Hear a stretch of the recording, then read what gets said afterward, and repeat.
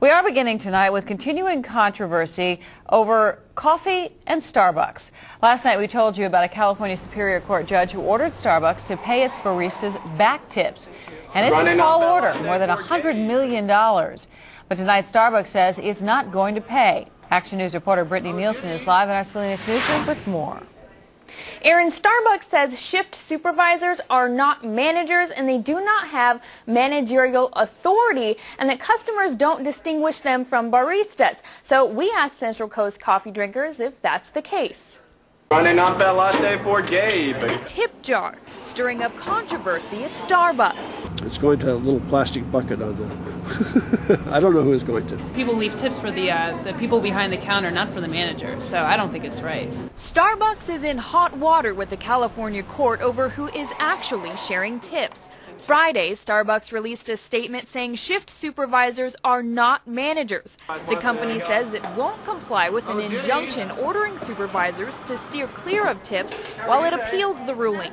One local barista says he's pleased with the way his coffee house distributes tips, but says tips are earned through good service and are an added bonus. They're um, distributed equally between the employees, um, you know, depending on what number of hours they work or their shift, uh, and the supervisors here share them equally. But managers do not.